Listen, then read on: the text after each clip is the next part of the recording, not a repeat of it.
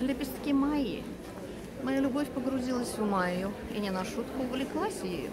Мнеет, что она белые лепестки цветущих фруктовых деревьев. Белеет и распускается повсюду, куда я не пойду. Там в сливовых цветах, а там яблоневым цветом. За поворотом облаками вишни и тернут.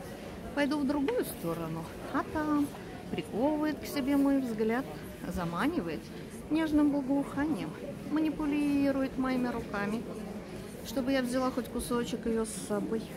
Я не могу устоять перед ее волшебными чарами.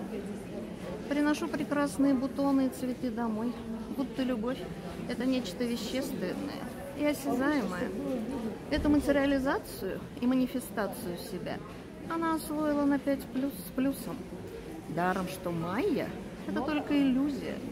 Думаю, что моей любви будет трудно вырваться из ее оков и осознать свою невещественную природу. Лепестки Майи –